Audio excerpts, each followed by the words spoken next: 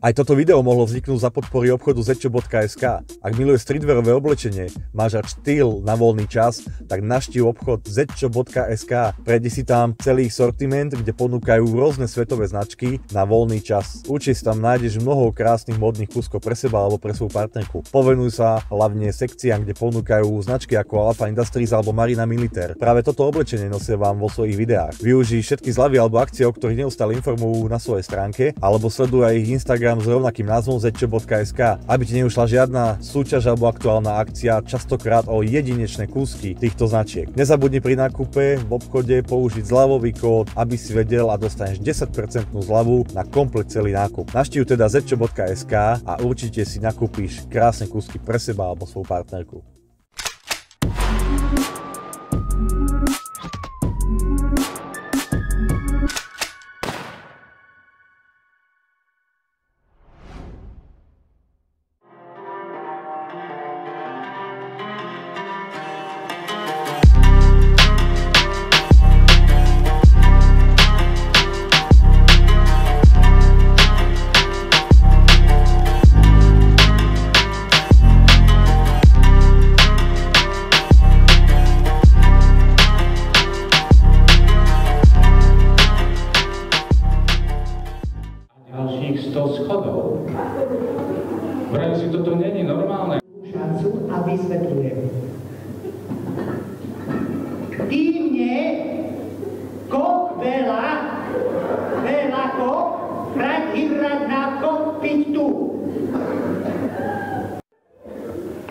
Uvažujem, na ten kokot som šiel hore ako Živý recept, nie online. S tým Vraj OK. Najeval som respirátor, takto sa prisal na mňa ako z votrelca, ako Nejaké sa ešte pripravujú a celý ten kanál je ako na to zameraný. Aha, tak môžeš. Chlapci, A Jeremy ho- sem si kúkajte. Dobre. Ty si ich ako kopu poznal? Ešte keď- Všetkých. Není podľa mňa jeden, ktorého by som nepoznal osobne. Ale uh, asi ste skoršie, povedzme, že keď ste boli mladší, alebo už aj keď fungovali, že... Ne, keď fungovali. Aj predtým, aj keď fungovali. Vieš, keď si s niekým kamarát, tak si kamarát. Vieš, to boli všetko moje ročníky. To je jedno, či Diničovci, či Žalúď, či ja neviem, Čongy, či Sikorky Aha, všetky, či Miro Sikora. Koho si vymyslíš? Miky Černák, všetkých.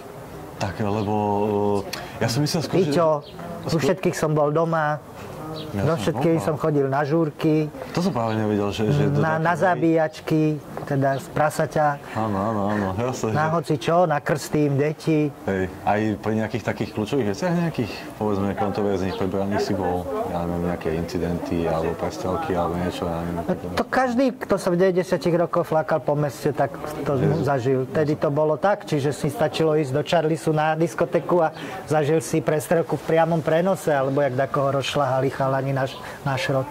To bol štandard, to si nemusel nič Že, že to bolo také... To nebolo nič výnimočné v tých, tých dobách. No to od 90. do 90.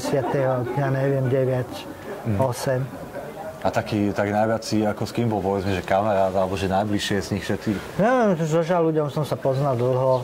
On si chodil aj ku mne zabrejkovať občas do gumených chlapcov a tak. Kovení chlapci, hej. No. A tancoval?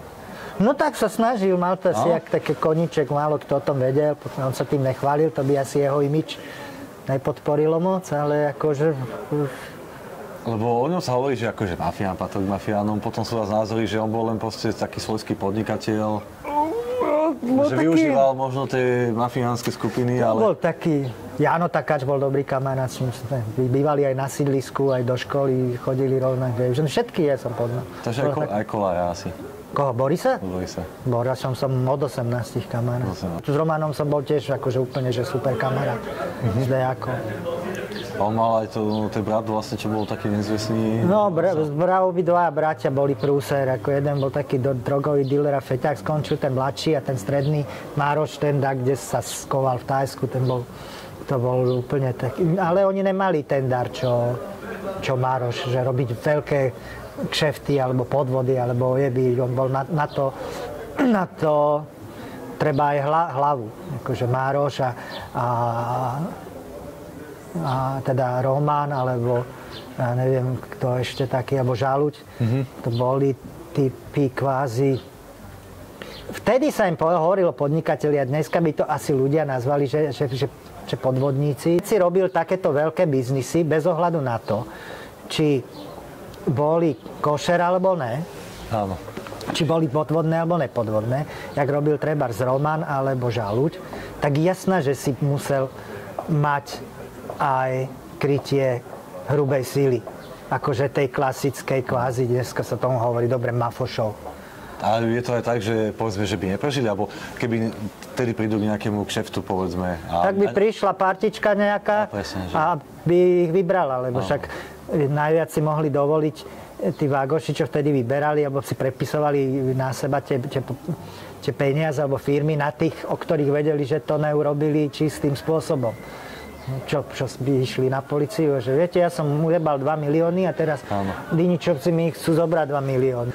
Každý mal nejakú svoju partičku, okrem svojej tej klasickej ochránky, tak bol spriaznený s nejakou tou, tou partičkou. Viem, že e, Roman Dejak bol za dobre s Diničovcami napríklad a Žaluť bol asi neviem, či, či so, so, so Sikorkami alebo kto, ale musel si mať také nejaké mhm. krytie, niekomu si ma proste bližšie a tým pádom si si Kybelaj, to, to isté. sa hovorí, že Kybelaj toho dejaka preto vlastne dal dole, to už je ako dávno známa vec, lebo že to chcel nejak prebrať po tých Diničovcoch, tak on tam bol asi, že nie len nejaká taká postavička, ale asi taký význam. Kybel bol do pohody. Vieš, s Kyblom, kebyže sa bavíš, tak e, a, a, aj vtedy, preto kopec ľudí aj z, z našej branže, umelcov, aj politikov, sa kvázi akože hambi alebo občas dá do nejaké médiá, naň vyťahnú starú fotku a oni teraz sa to snažia dementovať. Nemusíš to ani dementovať, lebo vtedy si to tom človeku nevedel. Mohol si tušiť, ale nebol si, vieš, nikto ich vtedy neoznačil, vy ste mafia a mali by ste sedieť. Nepísali o tom eh, investigatívni novinári tak, jak teraz. To nikto nemal vtedy odvahu a nebolo to ani móde, ani, vieš, jedno s druhým, s tretím. Jasne. Čiže, vieš, a fakt oni mali tie prepojenia do najvyšších aj politických, aj neviem jakých, kult, umeleckých a takýchto kruhov. Čiže on sa zjavil tam, tam, tam, tam, všetci z nich a každý s nimi bol kamarát, lebo ako vedel, že to, to sú takí akože silní chlapci, alebo a väčšina z nich sa v slušnej spoločnosti sa aj slušne správali, vieš. Mm-hmm. Čongy alebo hoci kto. To by ťa ani nenapadlo. Bavíš s chalaňom, ktorý stojí a Hej. není vulgárny a není opitý. A podobne proste. Akože ľudia vtedy vedeli už možno, že čo znamenajú, alebo čo asi robia, plus hey. minus, len to nebolo nich známe. Až teraz Tie médiá, keď povedzme ich zobrali, tak začali o nich písať. Po rokoch mali ľudia, asi aj tie médiá alebo tí novinári mali nejakú odvahu to začať vyťahovať, keď sú všetci zavretí alebo mŕtvi, vieš. Mm-hmm. Ale predtým... Sa snažia diskriminovať teraz tých ľudí a aj politici rôzni tam boli s nimi. No, to, to si myslím, že není úplne fér, lebo vtedy, vtedy sa to tak, vieš, ťažko sa dajú porovnávať tie doby vôbec, vieš. Po, no porovnávať neporovnateľné je podľa mňa ťažko. Vtedy bola iná doba, kto v nej než, nežil a nezažil ju, tak môže teraz rozhadzovať rukami a krútiť hlavou, koľko chce, ale proste to bolo tak, to, to sa ťažko vysvetľuje, ale hovorím, kopec ľudí nevedelo, alebo len tušilo, Vieš, že si každý povedal, no tak on je mafián, no však keby bol mafián, asi by bol zavretý, alebo čo. Vieš, a vtedy sa to ešte tak bralo, že všetci úspešní podnikatelia, mm-hmm. ktorí vedeli urobiť prachy a niektorí vedeli urobiť prachy aj bez hrubej síly a podobne, tak vlastne potom boli ako bráni, no všetci, to, to je Zlodeji. To sú zlodeji, mafoši, tam majú krytie. A určite to neboli všetci. Niektorí hej, a niektorí ne, vieš, takže... Ano. Hovorím, ja som s nimi vychádzal tak dobre, lebo ja neviem. Diničovci a Čongy. Tých som poznal preto, lebo robili na vyhadzovačov, vieš, vo Večku a neviem, kde v Dimitrovci a tak. A ja neviem, e, Jano Takáč chodil, sme na ZDČku a vo vedľajšom báraku býval na Pošni. A ja neviem, to, Žalúď, jak som spomínal, tak tiež, tiež som ho poznal ešte keď začínal a mal taký akože koníček, čo sa ono malo, ale prišiel si občas zatancovať breakdance, sa učil tak. To som nevedel. Do gumených chlapcov. Všetci gumených chlapci ho poznali, všetci sa už aj, keď sa žaludia už báli a mal rešpekt, tak e, to nikdy nedal akože pocítiť. Gu- gu- gu- Gumených bol jeden z z tanečníkov na tréningu. Tam si skúšal. Vieš, ak sme ho volali v gumených chlapcoch? Netuším. E, Žaludia? E, Žilak. A tu učili sme sa, volá sa tomu, že korytnačka. To je také, že takto máš ruku na bruchu, celé telo máš v lufte a točíš sa. Jasné, že No, také, na lakti. na, ako. tako na ruke. Tu máš rekavicu, takto na lokeť máš celé telo, to máš ako vo vodole. Také, také náročné, celý breakdance je taký šport. A, točil. a on to skúšal sa naučiť. A zrazu, že jeb šleha, jemu tu navrela takáto, že že tenisová jak loptička. Ale keď- Hovorím, čo ti jebe, že čo je, že koko, že asi som to nemal robiť, že ráno mi brali krv. Ráno mu brali krv zo žily, vieš. A tá, tá mikrodierka, Aha. jemu sa urobila taká, že podliatina, mu jebla tá žila tak trocha. Ale my sme tedy e, trénovali v Ružinove, v kultúráku, tak kúsok to bol tam na Šmitkého, vieš, do, do polikliniky, asi 3 minúty sme brali. A odvtedy že celé mesto ho volalo Žaluť, ale chalani, tanečníci z gumených chlapcov ho volali Žilák. Žila. A kopec tých chalaňov, tých stancujúcich, nevedelo, všetci hovorili Žilák, Žilák a všetci posratí. A on ako reagoval na tú prezivku žaluť? Či to sa mu nehovorilo do očí, len ako poznať? Ne, ne, normálne sa mu to podľa mňa To hovorilo. normálne, že Hej, žaluť. jak si ty nejaká ladiš, No, no, no. Žaluť, že... Žaluť, to bolo jeho, neviem, neviem prečo, to si nepamätám, ale odkedy si pamätám, tak sa nikdy mu nehovorilo Peter, on bol Peter, myslí. Peťo. Hej. A Ale, ale žaluť. ty si pôsobil aj medzi tými mladými modelkami, určite dlho, však tým si známy. A Hej, ale to má, to, má, to má ten súvis, že hovorím, že niektorých som poznal akože z tých diskoték, ako vyhodzovačov, Mhm. niektorých z toho sídliska a, a mnohí sa so mnou kamarátili práve preto, že som roky robil ten modeling a mísky. A oni sa všetci chceli dostať k tým mískam, tak všetci boli mňa milí Ladižov, že Jasné. nejakú pozvánku na nejakú módnu show alebo niečo Prestíž také, tak boli ku mne milí. A pointa bola to, že ja som bol kvázi celebrita, to nerad, to je, to je kokotina na známy Slovensku. človek, ale- Známy človek, ešte keď oni boli tí vyhadzovači, ale ja, ja už som sa ukazoval na tých míz a v telke a, a v všelijakých smotánkach a roky, roky pre, v rámci tej kultúry, ale ja som sa vždy k ním správal takto. Že normálne. Aj keď boli vyhadzovači, tak a oni ako keby si to všetci zapamätali a keď oni už boli akože pojem v tom podsvetí a, a mali tie svoje partičky, tak vždy, vždy sa akože Ježiš Ladižo, a vždy som mal s nimi také, že akože priam nadštandardné vzťahy. Poprvé ja vždycky akože humor, aj vhodné, hej? aj humor, aj vždycky vedeli a vždycky si akože kurník, že on už, o ňom už písali tláč a on bol v telke a, a vždy bol k nám normálny, keď my sme boli na bránach a potom sa to otočili, oni boli akože väčšie páky než ja a oni si to ako keby pamätali a vždy boli. A potom samozrejme hovorím, všetci sa chceli dostať tým babám a na tie míz a na tie show, tak aj preto A si pamätáš na nejaké situácie, kedy sa ti to hodilo? Že tie naštandardné vzťahy nejak využiť? Také, čo vieš odprezentovať verejnosti? Že Raz ma povedal- vy, vydierala taká začínajúca partia, ktorá sa et- etablovať asi chcela v Bratislave. A ja som normálne išiel na policiu a oni mi povedali, ale že Lady, že však, však ty poznáš aj... A oni mi, hej, že s ňom som kamaráda, tak. Že... No, tak jemu povedz. Že on to vyrieši lepšie než my a skorej než my. A tak sa aj stalo, lebo som mu zavolala. Hovorím, že furt si mi hovoril, že keď som mal problém, že dá, dá čo, že nech ti poviem. Že no, no, že čo treba. Hovorím to a to. Vyriešili to veľmi rýchlo, veľmi... Ja sa pamätám, ja som mal s Mírom Konvopkom otvorenú prvú zmenáreň oficiálnu v Bratislave. No, to, to bolo ako... Prvú na Michalskej. Prvá v celom meste, oficiálna. 9, 2, 9, 3, 9, 4. Ako A chodili ne? takí chlapci, dvaja, a vtedy už boli, tie, vieš, už bol Tuči, už boli Diničovci, už bol neviem kto, pa- partie už začali vznikať, Takačovci. Chodili takí dvaja chlapci, asi nelen k nám, a po podnikateľoch alebo po podnikoch a povedal, vieš čo nás posiela Tuči, no budete platiť nám pre, pre nás. Aj k nám došli tak do, do do zmenárne. Že, kto, kto vás posiela? No, Tutky, a Dinič a, a neviem kto, a budete platiť. Hovorím, OK, dobre, tak vybavíme to, príďte zajtra. Všetkým tým menám, čo povedal, som zavolal, čau, tu Ladi, že čau, čau, čo to? Boli takí chalani na Michalskej a povedali, že od teba a že máme platiť pre teba. Že, čo ti jebe, že kto Kerry, Kerry, hovorím, ty a ty. To som už počul, toto robia aj v iných podnikoch. Co, Takto som obvolal všetky tie mená. Ty, čo s nimi narobili, chlapče. Odtedy, odtedy som mohol zmenáreň aj nechať otvorenú, aj nezamknutú, aj okna otvorené. Nedovolil si nikto. Už nikto neprišiel nikdy v živote. Ja viem, že máte pred vystúpením, nechcem ťa nejak zdržovať, len uh, ma veľmi zaujíma takto, že uh, som sa dozvedel, že máš takýto blíz, bližší kontakt alebo blízky kontakt si mal s týmito ľuďmi.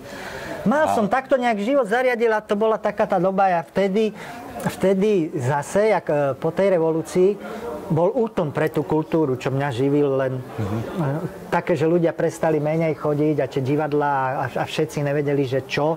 Vieš, prišla kopec tej americkej. Tá komercia, No a komercia, nahradila. vieš, a teraz kým sa všetci tak nejak našli, aj tie telky vznikali ešte len postupne, súkromné ešte neboli tak... Tak ja som sa bavil tým, že som sa bavil, vtedy sa dalo ešte normálne žiť, čiže ja som sa furt flakal po meste a hovorím, no im som mal tak blízko aj z iných okolností. Bolo, bolo to akože súvis viacerých vecí, že oni ma mali tak nejak akože e, rádi a mnohým som mal tak akože blízko.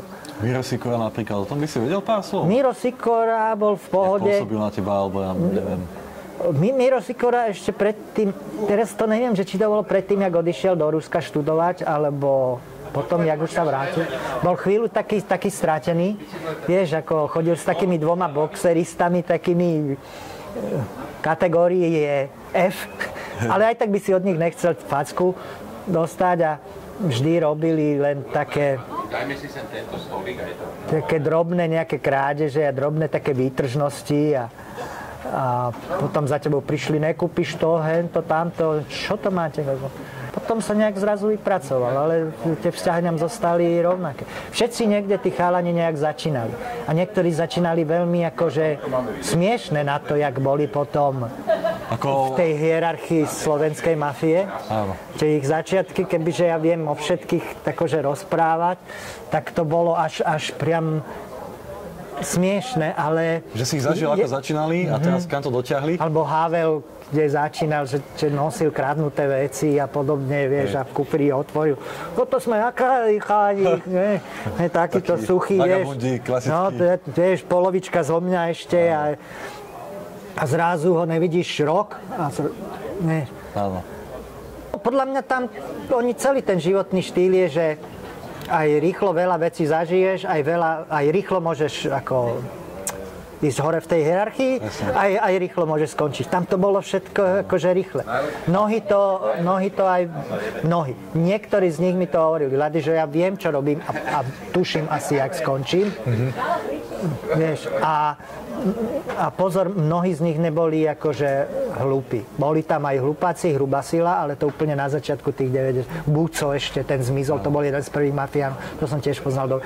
Ja som ich ešte, ešte jedna vec do tej skladačky, prečo som sa s nimi tak dobre poznal. Vieš, čo som ja robil po, po 90. ja ako choreograf som mal na starosti všetky nightkluby vo všetkých hoteloch v centre mesta. Čo to bolo, ja neviem. Carlton, Devín, Danube, nie? Kiev, Danube a ešte niečo, asi 5-6 ba- klubov. Každý ten hotel mal nočný pr- polnočný program pre turistov, ale aj domácich. Také, že klasika, že kúzelník, rock and roll, striptease, niečo, vieš, tak, taká, takýto kabaret mini. A to som ja mal na starosti. Nikto to nevedel robiť. A poznal som všetkých tých ľudí, že Lady, čo ty to budeš robiť. Čiže ja som mal milión všelijakých takýchto umelcov, zábavných. Hej. A tam sedeli všetci tí chalani. Čo má urobené, myslím, aj právo napríklad. A neviem, či nemá nejakú, on má tú vojenskú, to neviem, či je vysoká škola, alebo... No, to bolo asi nejakú nejaká- nejaké strednú, také niečo. niečo. Tam boli všetci kvázi tí profesionálni vojaci, mnohí tí, toto jadro od nich. s ním som tiež dobre vychádzal, lebo on mal žil s, s mojou bývalou miskou, s ňou mal dvojičky, vieš. Že som bol aj na krste tých, tých dvojčiek. Narodili sa dojdi a tak. To je pravda. A, a som podľa mňa jeden z mála ľudí, čo bol u neho na tej výle, čo potom úplne trápnym spôsobom. Áno. Otvorená bránka, helikoptéra. Ako, to jasné. bolo naozaj trápne. On ešte mi hovorí, Pičo, že poď sa pozrieť, že, že ty máš taký vkus, že čo si o tom myslíš, že ak som to dal urobiť. A fakt tá vila, akože, že hovorím, a to si, že robil ti to nejaký architekt, alebo že ty sa ho pýtam Piťa, že ja som si to vymyslela. Ako pekne na, dizajn? Veľmi pekné. Hovorím, hovorím, ty máš normálne, že akože vkus. Že čo si o mne myslíš? Hovorím, tak čakal som, že bude všetko maskačové a zelené. Niečo aj bolo, ale akože veľmi vkusne pekná, moderná, proste pekná vila a podobne. Ja, mne to S hovorili, Diničovcami som chodil na zabíjačky skvelé, pečené prasa, oškvárky, bla bla bla. A mimo, mimo bratislavských skupín, napríklad si spomínal, že s Černákom si... Mír, s, s Mikým som sa poznal aj s tými chalanmi, lebo ja som bol 10 rokov vo Forze, čo vlastnil Jano Kováčik a Jano Kováčik zase poznal odtiaľ. To bola tá produkčná spoločnosť? Aha, aha, taká najsilnejšia dlhé roky. Jednička na trhu, zvalcovali sme všetko a vlastnili všetko. Toto je gala večery veľké. No, no, no, sláviky a misky a rádio a telka a, a mesačník a denník, všetko. A všelijaké milión programov. A on bol zase z Bystrice. Čiže tam, keď si chcel Bystrici byť úspešný podnikateľ, čo Jano Kovačík bol, tak tam si zase musel mať... A on, on tiež sa poznal s Mikým, Mikyho si myslím, mi hovoril, si ho pamätal ako šofer autobusu, čo ich vozil tak, medzi Bystricou a Breznom alebo Čiernym Balogom. Čiže tiež sa poznali z mladosti, mali korektné vzťahy a tie vzťahy im zostali korektné aj do tej doby, keď zrazu chalani zo šoférov bol šéf slovenského posvete a podobne. Čiže s nimi ma zase zoznamil. Jáno Kovačík s týmito z Bystrice. A hlavne my sme kvôli Fo- Forza malo sídlo e, ako tu v Bratislave, ale tú centrálu a kde vznikla, bolo v Banskej Bystrici, že my sme často chodili do Banskej Bystrice. A tam som ja býval vždycky v, tom hoteli Lux? Luxe No tak to jasné, že... a tam oni, to bolo ich epicentrum, čiže tam som sa postupne so všetkými ako Tam zoznámil. tie tigre, tuším, vtedy. A, áno, a tým pádom všetci vedeli, že mne ani neukradnú auto, ani ma tam nikto nebude byť, ani naháňať, ani nikto. Vieš, takže tak, tak postupne. Ako, Toto taká malá ochutnávka bola, to čo som sa dozvedel, teda, že si ich po, takto všetkých poz- poznal. Chcel som teda hlavne divákom ukázať, že ako by mohol vyzerať náš rozhovor, keby si prijal pozvanie do štúdia. Spravili by sme to v, v kľudnejšom, menšom časovom strese, lebo opakujem, že máte pred vystúpením, to hlavne divákom. Tak som rád, že si... tvoji budú chcieť, tak sa môžeme o tých časoch porozprávať. Sú to Je to iné, Je- ako počul od nejakého policajta alebo novinára. No. Takéto... Ty to bereš zase ináč, keď sú to chalani, hovorím, ktorými si vyrastal a ty si sa niekam posunula oni a napriek tomu tie vzťahy zostali také. A podľa mňa to není žiadna hamba. Niektorí teraz mám pocit, ako keby sa hambili alebo to chceli tajiť, že sa s nimi poznali. Ale podľa mňa to není hamba. Proste tak sa to udialo. Tak čo? No. Tak je to také korektné sa toho strániť, ale ešte viacero ľudí, takto ich poznali, mi hovorili, že oni boli vo všeobecnosti strašne priateľskí, len im človek nemohol skrížiť cestu v tých ich ambíciách. Podľa mňa tým, s kým boli kamaráti alebo priateľskí, alebo už si získal si ich dôveru, tak jak ja, Hej. že si poznal ich rodiny a poznali ste sa pred tým ich štartom a alebo ste dačo spolu zažili, alebo vieš, že prosím ťa, zoznámiš ich s mastou modelkou a ty si ich zoznámil, oni to akože nezam... Tak, tak väčšina z nich bola priam, by som povedal, že by si si ich natrel na chleba. Tam mám dokonca pocit, že čím väčší boli, a tí, jeden čas boli tí hrubokrky v móde, tak ten by ti, no, no normálne, ja som zažil, že, že títo chalani, že som sa opil v Charlise a ma odpadnutého na rukách nosili bachalady, čo ide. A, a, že, že by si fakt naš, natrel na chleba, že by ti dali svoju košelu, Áno, taký priateľský. Vieš, ale a tak, jak ty hovoríš, asi viac ľudí v tej dobe bolo, čo sa ich hrozne a asi aj právom máli. Tak keď im v biznise niekto zrušil prekrižové cesty, asi vedeli hneď tú, No, no, no, no. tú druhú stránku ukázať.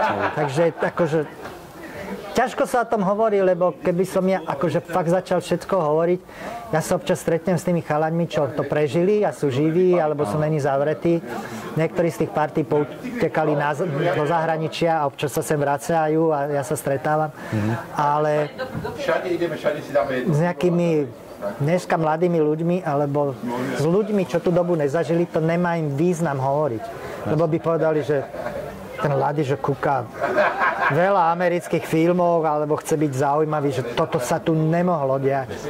Tak oni Priatelia, vedia, ako- tu sa dialo, že americké filmy môže ísť do píče, čo sa tu dialo v 90 rokoch a čo si tieto party a mena mohli dovoliť. Akože, ale vieš, nechceš to hovoriť tým, čo to nezažili, lebo tak kúkajú, že si buď vymýšľaš, alebo ti preplo, alebo fakt si pozeral veľa filmov, ale naozaj to boli akože... Ja sa snažím ako také autentické informácie prinášať. A Tak viem, tak teraz autenticky. e, určite som počúval nejaké dva, tri tvoje podcasty, aj keď som si nevedel po, po, Jasne. meno a stvárov dať dokopy, ale keď hovoríš ten obsah, tak som si to párkrát počúval niečo a som si tak hovoril, prečo ešte nespomenul to a nespomenul to a toto je podľa mňa pičovina, toto je pravda, čo tam hovoríš. Ale hovorím, môžeme sa to vyslovene porozprávať v kľude aj o hodinu a Práve o to ide tým ľuďom, že poznajú tieto mená z No. dokumentov, z kníh a o, ty vieš priniesť autentické z úplne iné stránky, je iná boli, stránka. aby si ich vedeli predstaviť a tak. to je kvázi, že akože kamarát ti o nich hovorí. Čas. Ale novinár inak bude hovoriť o nich, kriminalista bude inak hovoriť. Presne, presne. Bývalý nejaký parťák z partie bude inak hovoriť. Že človek si bude možno, možno vedieť vďaka tomuto tvrdeniu To spraviť je, nejaký obraz o tom. ale je to, oni, on, na, pohľad na nich